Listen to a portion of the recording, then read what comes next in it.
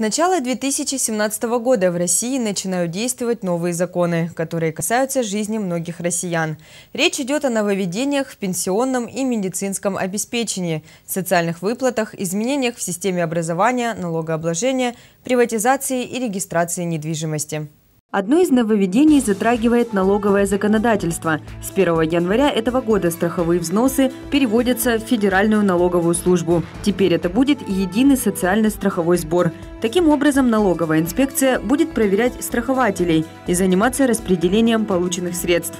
Это позволит повысить собираемость налогов и упростит процедуру для плательщиков.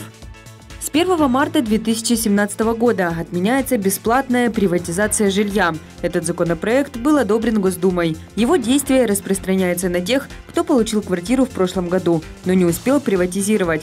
Право на бесплатную приватизацию после 1 марта 2017 года имеют только дети-сироты, жители Крыма и те, кто подал заявку на приватизацию ранее 2005 года. С начала этого года в квитанциях за содержание жилого помещения появится строка «Оплата общедомовых нужд в многоквартирных домах». Первоначально ее планировали включить в платежи еще в апреле того года, но приняли решение о переносе на начало 2017 года.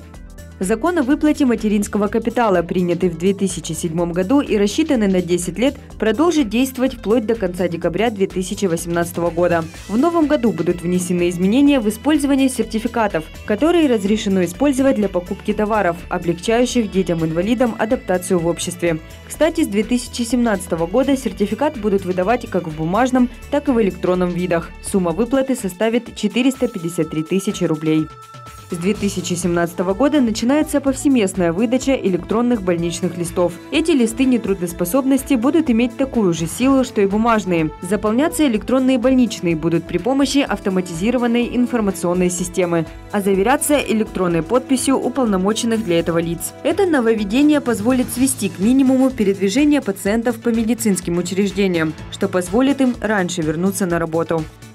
Особого внимания заслуживают нововведения в ГИБДД. Они коснулись удорожания обязательного страхового полиса ОСАГО. Его цена будет зависеть от числа нарушений. Если их очень много, то цена увеличится примерно в три раза. Более того, изменится стоимость пошлины за выдачу водительских удостоверений. При этом отменят имущественный налог на наличие транспортных средств для предприятий.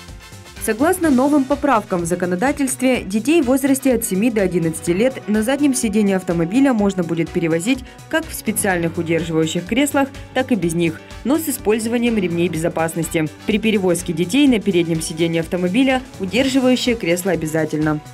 С середины января этого года должники, у которых долг превысит 10 тысяч рублей, будут временно лишать водительских прав. Согласно нововведению, судебные приставы смогут вводить ограничения на управление автомобилем шести категориям граждан. Это коснется неплательщиков алиментов, не возместивших ущерб здоровью или ущерб по потере кормильцев, должникам, причинившим ущерб преступлениям, нарушителям дорожного движения и лицам, уклоняющимся от общения с ребенком по решению суда.